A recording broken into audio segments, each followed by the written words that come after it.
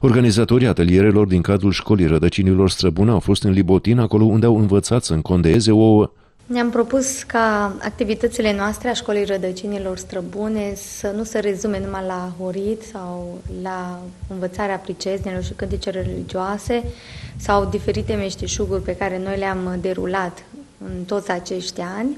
Ne-am aplicat și asupra vopsitului uh, ouălor pentru ziua de Paște și am luat parteneri alături de noi, pe lângă Muzeul Maramureșan din Sighetul Marmației, Muzeul din Baia Mare. Am uh, implicat uh, și două profesoare. Una este din uh, Moisei, Ioana Tomoiagă, iar din Libotin o avem alături de noi pe doamna profesor din limbă română, Bude Mihaela. Dumnealor, la rândul lor, au mobilizat comunitatea respectivă, din satele respective, ca să facem în fiecare zi câte ceva.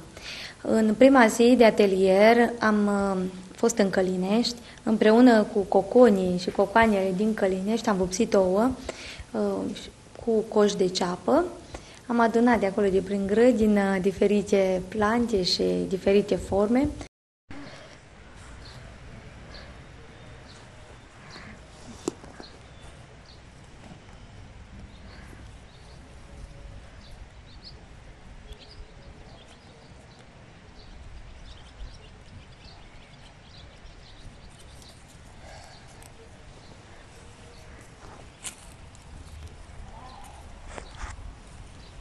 Întregul material despre arta încondeatului ouălor îl veți putea urmări la TV Sighet într-o ediție specială a emisiunii Lucruri, Fapte și Oameni de Valoare, dedicată sărbătorii pascale.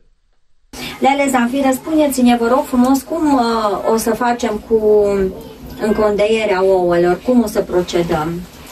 Cu încondeierea ouălor trebuie să avem condeiul, să avem ceară, da, aici sunt condeile, cu un condei de asta luăm și facem, îl băgăm în ceară și facem o pe albul. Facem câteva motive acolo. Ce fel de motive? Da, păi prima dată o cruce,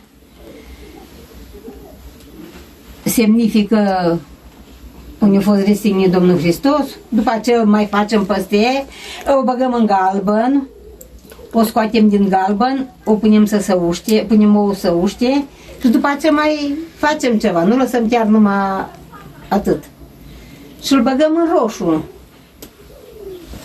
După ce îl scoatem din roșu, îl ștergem la foc. Dacă vrem să rămâie roșu, dacă am mai avea, să vedem cum ne mai ies și este la alte, poate mai facem și albastru sau ceva altă culoare. Dacă nu rămâne numai din galben și roșu. Bun.